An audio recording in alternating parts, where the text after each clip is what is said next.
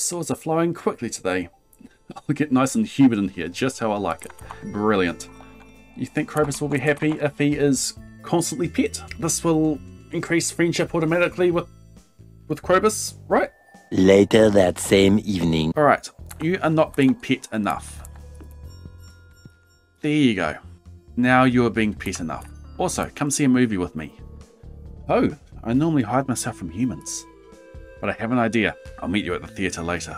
All the pets for Krobus.